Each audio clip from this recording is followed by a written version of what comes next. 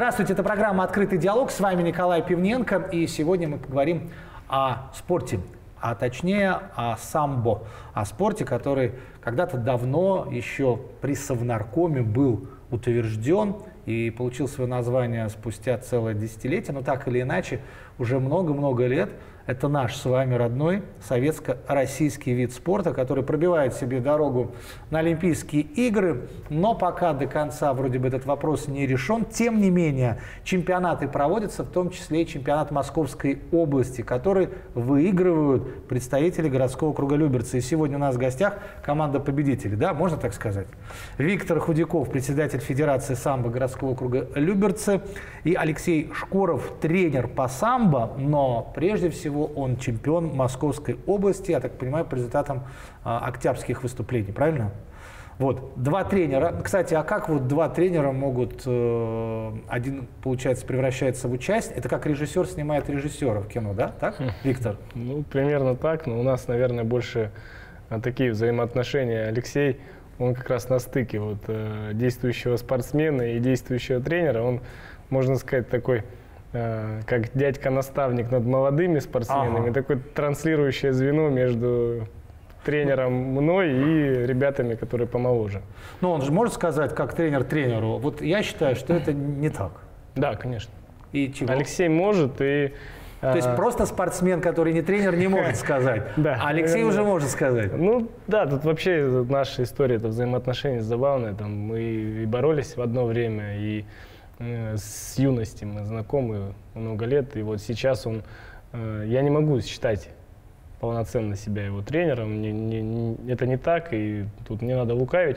Он прежде всего уже сам себе тренер, он столько лет на ковре, знает, как mm-hmm. себя подвести к соревнованиям, как себя подготовить. Там. От нас нужна только поддержка, какие-то создание условий определенных для подготовки. Может быть, в какой-то нужный момент совет, но он, э, он сам знает и чувствует, нужен ли он ему, ну, давайте, принимает ли да. этот совет. Давайте мы Алексея спросим, все-таки он чемпион, свежеиспеченный. Алексей, а правда действительно тренеру иногда нужен э, тоже тренер? Да, однозначно, потому что тренер как бы в любом случае, он все время э, видит со стороны ему, э, все время кажется, что ты не дорабатываешь где-то, mm-hmm. то есть он всегда видит ошибки где-то со стороны. Вот, поэтому однозначно без тренера, без поддержки это очень сложно. То есть надо наступить на горло собственной да. песни и да. выслушать коллегу или в данном случае старшего наставника, да, передать ему нек- некие бразды правления, и это поможет победе. Ну, я так понимаю, мы э, знаем, что победа далась довольно сложно.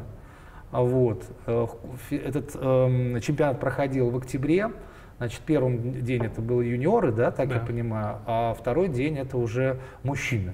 Вот. Без женщины этот раз все обошлось, я имею в виду на чемпионате Московской области. И э, вы победили э, в ранге мужчин. А много вообще людей было, участников? О, в районе 97 человек да, из 27, из 27 муниципальных образований. Но все разделены были на, весов, на весовые категории. Mm-hmm. Вот. И вот весовой категории до 64 килограммов, где Алексей выступал, там было у нас 7 участников. Ну, может Счастливая быть, цифра. Цифра не совсем внушительная, но из них по-моему, только двое, не мастера спорта, один там международник. Ну, то есть Затесался. Уровень там, уровень там такой был, что как бы было с кем побороться. Там случайных людей не было в, в, этой, в этом весе вообще. Вообще, вот отличительная особенность mm-hmm. этого чемпионата в том, вот мы посмотрели, не было проходных встреч. Mm-hmm. Не было практически людей там случайных, которые там не готовы, хотя, казалось бы, пандемия. Но, наверное, она свою роль и сыграла вот в этом, что при, приехали только люди, которые действительно уверены в своих силах. И получилось участников меньше, чем обычно, но качество борьбы, уровень конкуренции был едва ли не выше, чем на всех предыдущих чемпионатах, которые э, ну, вот в последние годы проходили. Ну, я должен сказать, что тут э, напрашивается воспоминание о знаменитой Олимпиаде, когда наши баскетболисты в 1972 году за три секунды решили всю судьбу. Да. Э, и три секунды – это, видимо, какое-то, в хорошем смысле слова, роковая цифра для наших спортсменов, потому что у вас тоже все за три секунды решилось. У нас за четыре. За четыре, да? То есть повышаем, повышаем планку. Расскажите, как это было, потому что ну, не все знают правила самбо. То есть вы насколько я понимаю, проигрывали, да, Алексей? Да, в С начале встречи, да, в начале встречи я упал на два балла. Ага. А вот, кто так виноват-то сказать. в этом? Ну, кто виноват? Однозначно я виноват. Да. Потому что, ну, как-то я не знаю. 0-2. Да. Э, На два балла я упал, потом э, мне сделали замечание, вот, наказали, соответственно, дали еще один балл А, моему сопернику. Вот, потом, соответственно, э, 0-3 я собрался, да, уже я проиграл 0-3 три балла. По-нашему. Да, потом бросил на один балл, еще раз бросил на балл. Вот, и до конца уже, когда оставалось 4 секунды. Счет 3-2 против вас. Да, против. И 4 секунды оставалось как-то. Я уже, у меня есть уже наработанная схема, вот, соответственно, я знал, На что 4 я... секунды специально Да, ну, как бы в конце встречи, да. Обычно, когда я проигрываю, уже за минуту, я уже иду в банк иду в плотную борьбу, как бы, и там уже, как бы, перевес, либо он меня, либо какая разница, в принципе, если ты проигрываешь, надо идти рисковать. Вот здесь другая ситуация, как бы здесь у меня была наработанная как бы подсечка, то есть когда ты наступаешь, соответственно, они блокируют и Мгм. упираются. И я хотел его, соответственно, вот в эту сторону его бросить, да, куда он направляет, да, свое тело. Ну, в принципе, так и получилось, как бы я взял, он делает атаку, соответственно, и в моменте расслабляется, теряет равновесие, где я его уже контролирую. И поймал. Да, поймал его уже руками, довел. Ну, получается, что э, это ваш, э, ваш козырная Да, карта. уже, да, То да. С вами э, надо быть, ухо держать востро до самого финала. Однозначно, ну, в силу того, что я очень долгое время уже занимаюсь с самого детства, и как бы здесь уже на опыте ты чувствуешь А вы уже- видели в глазах, может быть, соперника, что он уже, ну, Ну, я чувствовал, да, когда я уже начал его набрасывать, то есть на один балл бросать, на второй балл его бросил, и, соответственно, уже многие, я делал попытки, соответственно, которые уже вот-вот-вот-вот, он сейчас упадет. Но, к сожалению, да, устоял соперник. И я уже понимаю, что он уже работает вторым номером, то есть мне нужно только наращивать атаки. Принципе, так и получилось. До последней секунды я выложился, и результат. Ну вот видите, как, как сценарий хорошего фильма. Тут целые двухчасовые э, снимаются такие боевики, как тяжелый соперник, все, 4 секунды, трибуны, все это там 20 минут нам показывает, как а, а потом мы видим, кстати, э, вот в записи вашего боя, как Виктор Худяков стоит так, ну как бы понимает, что, как, наверное, любой тренер, что даже 4 секунды могут решить судьбу, но все-таки, наверное, уже приварил, превалировало, да, чувство, что проигрыш рядом. Нет. Да ну 4 секунды, ну Нет, что, что не они было. решают-то? Не было ощущения, с самого начала встречи не было ощущения, что он... 3-0 проигрывал, как же Даже при счете ощущения? 3-0 было Да. ощущение, что бросит, отыграется. Ага. Вот бывает такое, ну, это и по борьбе, сам могу сказать, когда боролся. Бывают встречи, которые складываются, ты вот чувствуешь, что бросишь, и все. И вот тут такая же история. Я был совершенно спокоен на протяжении всей встречи, пытался ему какие-то коррективы внести, подсказать что-то, а, повлиять, скажем так, на тактический рисунок. Но сама по себе отличительная особенность не только Алексея, всей команды, вот, которую мы привезли, у нас мы не досчитались нескольких лидеров на чемпионате области. Это нам не помешало занять третье общекомандное место. А, Для нас это неплохой результат, хотя мы э, объективно должны были быть вторыми. Ну, там немножко сложились обстоятельства, так что, ну, чуть-чуть мы, можно сказать, Какие-то игры. А, Нет, дело в том, что ну, банальная ситуация в одной из весовых категорий просто не было э, достаточного количества спортсменов. Ага. И все решил простой момент, что человек пришел, взвесился, и он был один. И вот этот, это его, их золотая медаль, она перевес А, дала в пользу просто Балашки. взвесился и получил... Да. Ну, та- таковы правила. Если я взвесился один, ну, это проблема Хорошо, не моя, что больше я никто не приду, приехал. там условно у меня будет Вашей 150 весовой категории килограмм. достаточно. Да, достаточно? А да, если так. 150 килограмм придет человек, он тоже один Там будет? нет, там в плюс, плюс 98 весовая категория, там было человек 10-12, наверное, А, то было. есть нашего брата там много. Да, там в 53 не было никого. 53 ник. Ну, Я думаю, что 53 боюсь, Тяжело быть, да. не дотяну. Вот вообще отличительная особенность именно команды взрослой в том, что у нас все спортсмены э, такие волевые, которые борются до последних секунд. Вот у нас есть вообще такая история в спорте. Бывает, одна секунда остается, и спортсмен понимает, что уже вроде он и дойти не Ну, раз успевает. и всё, уже да. не успевает даже дойти до соперника, и он стоит спокойно ждет сирены. Я честно могу сказать, что за своих учеников я- у меня ни разу такого не было в, Ага. в тренерской работе, в тренерской карьере, чтобы в нашей команде кто-то так поступил. Ну, Мы четко объясняем. э, Там сидит на табло тоже человек, который нажимает кнопку. Кнопка он с первого раза не нажалась, еще что-то произошло. Да? То есть Зачесалось шанс, что-то. даже если какая-то минимальная доля шанса есть, Надо то мы за нее стараемся бороться. И э, вот эта черта отличительная наших спортсменов, которые, которую мы, э, я считаю, что взращивали, она вот так традиционно идет еще с тех пор, когда мы там де- детишками боролись, она ну, заставляет гордиться этой командой, этими ребятами. И вообще, вот хотелось бы сказать по выступлению в чемпионате, у нас действительно там, даже те, кто не вошли в призы, у нас из семи человек, у нас четыре призера. У нас две бронзовые медали, одна серебряная и вот одно золото. Ну, Из хорошо. Из семи человек мы, по большому счету, там претензий некому предъявить. Там даже люди, которые без медали остались, они там настолько на Сражались. тоненького сражались и там проиграли доли какие-то. Тот же там э, один из тренеров Федерации НАТОВ, он э, у будущего финалиста там всю встречу вел, э, совершенно грамотно, тактически обыгрывая его, вообще шансов не оставляя. Мы просто половину встречи мы сидели и любовались борьбой человека, насколько он может лидера в этой весовой категории просто разбирать. Ну, потом он делает ну, глупейшую ошибку, попадается на болевой, и история на этом заканчивается несчастливым концом. Алексей, э, скажите, пожалуйста, э, а вот какие ощущения у чемпиона? Ну, понятно, что хорошо, победа. Ну, ну как это вот? Внутри тем более за 4 секунды. Вот там еще не чемпион, а через 4 секунды чемпион. Что вы подумали? О, ну, на самом деле, я вот, когда выходил на встречу, у меня была задача выиграть именно этого соперника, потому что в Вы с том году, да, я уже встречался в Триумфе как раз таки здесь, да, в Люберцах, и за выход в финал ему проиграл. Вот, ну, сейчас, соответственно, То есть задача была его выиграть, да. Это вторая была у вас? Да, это была Ну, вторая значит, встреча. теперь должна быть, по идее, третья. Да, Да. да. У вас есть там принцип вызова на реванш какой-то? Нет, это все зависит от э, жеребьевки, как мы встретимся. Да. товарищеский матч? Ну, Или у нас такого нет не бывает? Да, у нас такого не бывает, да. Если только мы где-нибудь можем встретиться на дне борьбы в каком-то клубе, соответственно, в Мгм. спортзале и пригласить друг друга на встречу и побороться. Благие победы никто не считает. Да. Ага. Не, ну зарождается вот это, что все-таки один-один. Это Ну, конечно, какой-то есть уже как Пусть- бы пусть пусть нему медаль, опасность Ага. какая-то, да. То есть ты чувствуешь, что ты ему проигрывал, потом ты его выиграл, то есть и такие были очень переломные моменты, да, соответственно, ты чувствуешь от него силу, да. Вот, поэтому остерегаешься его. Мгм. То есть очень присматриваешься где-то, смотришь, следишь за его встречами и так далее. Вот такие они наши спортсмены. Сейчас мы сделаем небольшую паузу. Напомню, что у нас в гостях председатель Федерации самбо городского округа Люберцы Виктор Худяков и чемпион Московской области, э, новоиспеченный э, по борьбе самбо Алексей Шкоров. И через некоторое время мы вернемся в студию.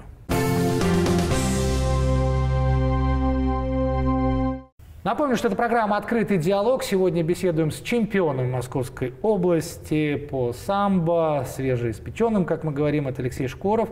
Также он тре- тренер по самбо. И Виктор Худяков тоже в студии. Бывал у нас уже в гостях, на этот раз вновь с чемпионом. Э, он председатель Федерации самбо городского округа Люберцы.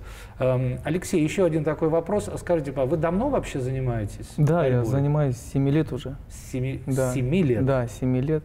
Ага. Заставили, наверное, родители? А, да, меня отец с братом моим старшим а, привел в Краснодарском крае, я родом оттуда, он привел меня в спортзал, соответственно, и говорит, что вот ага. сделайте из этих ребят чемпионов.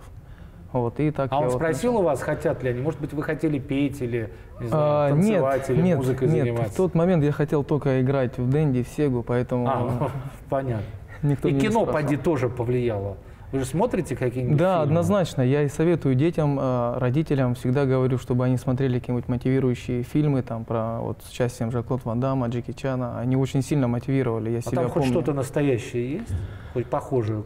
Или только заход на движение, а потом склеечка? Нет, ну, э, как бы само, вот когда ты смотришь фильмы, тебя они как бы воодушевляют, и ты хочешь войти в эту роль, да? Мгм. Ты хочешь э, научиться там, я не знаю, на шпагат садиться, там, например, там, с удара ломать, там, я не знаю, бам бамбук, там, да, дерево. А, бамбук еще ладно. Да, там пальму, я не знаю, сразу. пальму, пальму там и так далее. То там шифер мы клали, обязательно вот, тренировались, чтобы разбить рукой. Что, Поэтому- получалось? Ну, не всегда, конечно. На, на шифер надо другой подобрать. Да, поэтому Хорошо, мотивирует. А, Виктор, а где находятся чемпионы? Как, как происходит э, подбор? Даже если у вас тренер может стать чемпионом, что, в общем-то, все-таки а, одно дело, когда спортсмены да, готовятся, ну, а, а другое дело, когда тренер, который вроде бы как уже немножко другой работой занимается. Тем не менее, где находятся чемпионы? Сколько нужно вложить сил, энергии, чтобы он получился? Ну, это на самом деле зависит прежде всего от того уровня, на который мы ориентируемся, куда мы стремимся.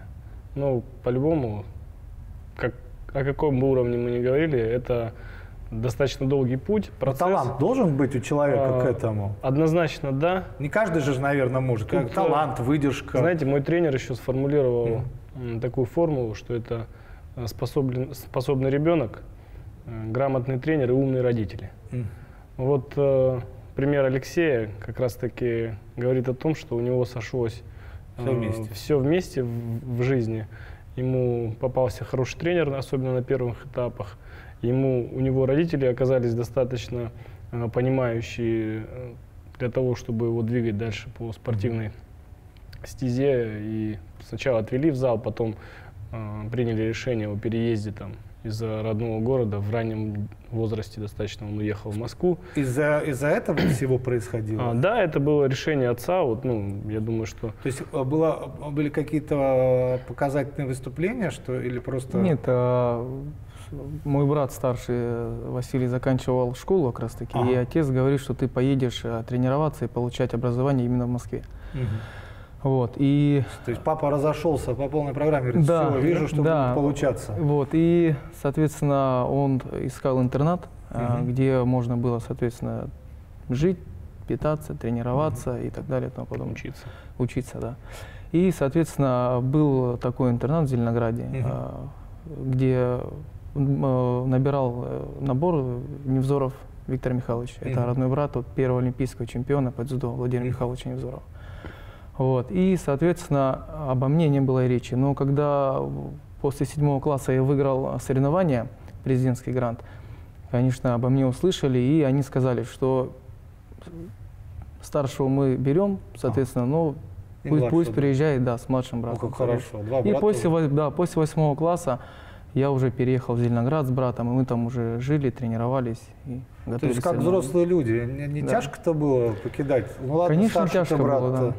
Тяжко было однозначно, да. Очень было сложно уехать вообще в другой город, да, и и, наверное, тренировки были круглосуточные. Тренировки боюсь, были там. совсем вообще другого уровня, другая нагрузка была вдали от дома. Это а было... дедовщина-то была в интернете? Нет, э, нет, как такового как бы у него же старший брат был. Да. Не, ну это... да, такого не было. Там были ребята, вот был из Грузии, из Азербайджана были ребята с побережья, с Московской области. Вот. Все общались очень, помогали друг другу. То есть такого не было, чтобы там кто-то кого-то обижал, ни в коем случае.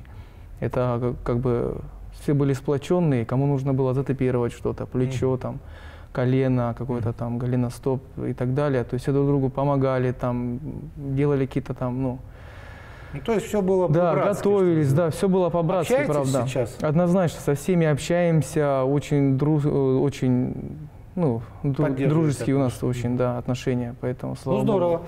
Виктор, у меня теперь такой вопрос, самбо на сегодняшний день. Это что такое для нас и что такое для Запада? Ну, для нас это прежде всего национальный приоритетный вид спорта, как, угу. как, каковым он признан официально на уровне Причем мини- министерства, причин. на уровне Министерства спорта. Это как документально зафиксировано, так и э, фактически. Ведь э, у нас все регионы Российской Федерации развивают этот вид спорта и культивируют. Это не каждый вид спорта может похвастаться такой географией на уровне Российской Федерации. Э, для нас это еще система воспитания. Угу. Причем воспитание всестороннего, как физического развития, так и патриотического воспитания, так и приобретения каких-то определенных моральных э, ценностей, которые несет в себе этот вид спорта, несет в себе, наверное, и черты то, тех людей, которые его создавали, той справедливости, той основы.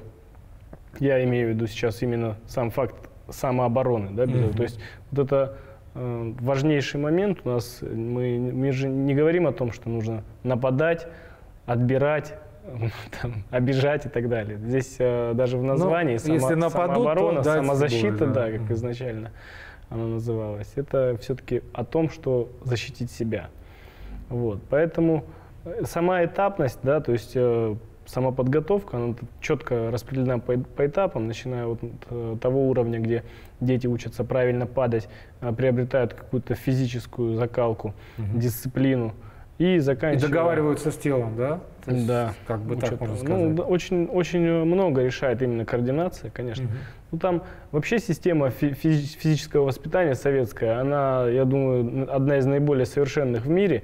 И именно она лежит в основе самбо, поэтому я ну, считаю, что мы это сохраняем и приумножаем, это может правильно быть, потому что все время к войне готовились, поэтому специально была подготовка. Возможно. Большинство, э, кстати, единоборств, они так или иначе э, связаны именно с подготовкой э, к войне. В том числе и самбо, если говорить о его, скажем так, одной из финальных точек э, проявления такое, как специальный раздел, он именно о том, как побеждать соперника, работать на уничтожение. Ну, естественно, это это уже когда Да, это серьезно. будем надеяться, что до этого. Хорошо. Но у нас понятно, у нас понятно, тем более и президент поддерживает очень активно, я так понимаю. А, а что у них, как что самбо? Что мире, они знают о нашем самбо? А, ну, если раньше это было на уровне экзотики какой-то, да, то есть русская борьба. Русская борьба, да, примерно так. То сейчас, вот, допустим, мы были в ноябре в Берлине на турнире, и там после одной из схваток я, я тоже боролся там. И после одной из схваток ко мне подходят голландцы ага. в, в оранжевой, значит, э, экипировке с надписью «Самбо». И говорят, можно с вами сфотографироваться. Я просто так тоже отреагировал, говорю, вы тоже меня сфотографируете. У меня еще не было фотографий да. с голландскими самбистами. Это действительно сейчас приобретает масштаб, э, им интересно. Изначально это был просто такой интерес, да, как мы сказали, как бы, что это, что за русская борьба. Сейчас они понимают эффективность. Такие люди, как Емельяненко, Нурмагомедов, они же показывают всему миру эффективность, то есть ту реальную прикладность, которой наш вид спорта обладает. То, чему мы учим и к чему можно прийти, занимаясь. Ну и когда он станет олимпийским? Он э, уже олимпийский, э, то есть официально мы в составе Олимпийского комитета включены как временные члены. Постоянное членство нам предстоит. И самое главное, самый главный вопрос – это включение в программу Олимпийских игр. Mm-hmm. Вот э, когда мы говорим о том, что когда он станет олимпийским, вы имеете в виду прежде всего это. Никто на этот вопрос не, не может ответить а, точно, потому что, к сожалению, все зависит а, не всегда от уровня развития спорта, от уровня там, вовлечения международного сообщества в это. А иногда просто потому, что русская борьба. К сожалению, политика не имеет не последнюю роль, и никто не хочет отдавать лишние 6-8 медалей золотых э, России. Тем, кто их наверняка возьмет. Да. Алексей, у меня к вам такой вопрос, как к тренеру теперь. Э, вы, когда тренируете, вам же хочется, наверное, сказать, вот я чемпион. Это можно иногда говорить? Или э, должен ваш подопечный знать об этом и понимать, что он не просто у тренера какого-то тренируется, а у тренера чемпиона, у которого золотая медаль есть, и может быть еще и не одна? Нет, ну я так Или надо говорить, говорю. смотри на меня, делай как я чемпион. Нет, ни в коем случае. Ну, я про педагогику в спорте. Да, я всегда объясняю детям, как бы а. объясняю своей жизни какие-то ситуации, вот спортивные моменты однозначно. Вот. Через что я прошел, как я это вижу, да. Вот, поэтому рассказываю им все время, показываю э, какие-то ролики, показываю им соревнования, чтобы они видели наглядно. А вот то, что вы 3-0 проигрывали, будете показывать? Ну, нет, ну я всегда говорю им, всегда объясняю на тренировке, что надо бороться Бывает до конца. Всяко, да. Вы выложитесь, то есть бывают такие моменты, что ну, они дети, они формируются только, и где-то они чуть там, ну, приходят в другой зал на соревнования, они просто у них, они пугаются, просто ну, другая обстановка, соответственно.